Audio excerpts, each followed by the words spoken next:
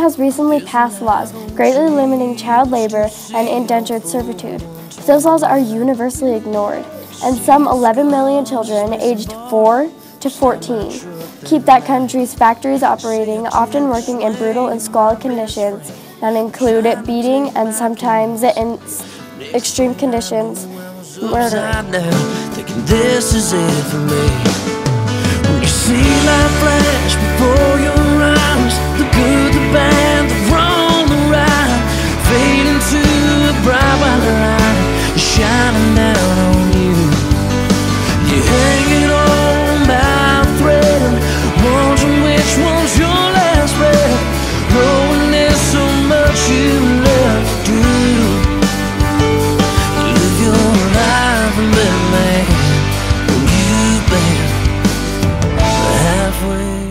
bracelets that you see were made by children, but they didn't do it for fun. They did it by force. So when people say I worked blood, sweat, and tears for that, they know it as literally. They know the feeling of blood drenching from their bodies every day. They know the feeling of tears shedding from their eyes. And they know the feeling of sweat coming out of every pore every day of their lives.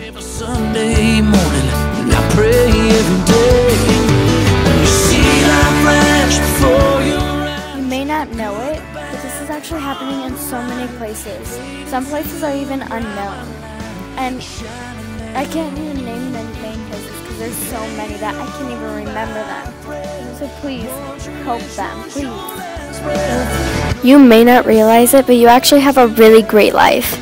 You can smile every day because you want to. You're not forced to do your work. You just you get paid and reasonable amount of money, but these kids, they just go through it every day of torture and pain and tears. They don't smile all the time, and this needs to stop.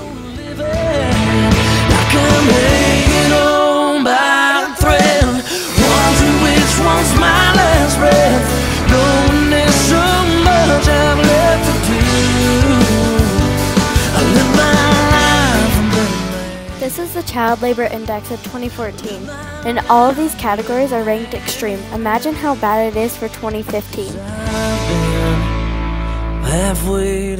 As you can see, all these kids at work by force, and they work in cages for 24 hours a day, and it's sad.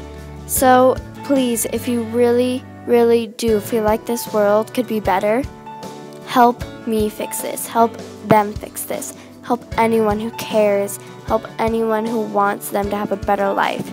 Fix this, please.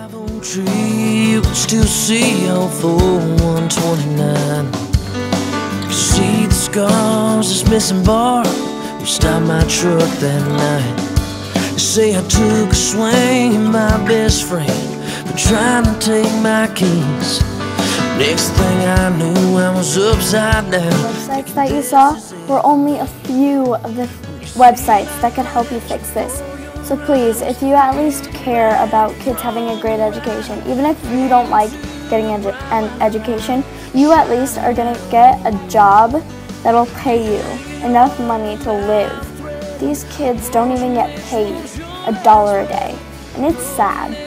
So please, find more websites or go to these websites and find out more on how you can fix this, how we can fix this, how anybody you know can fix this.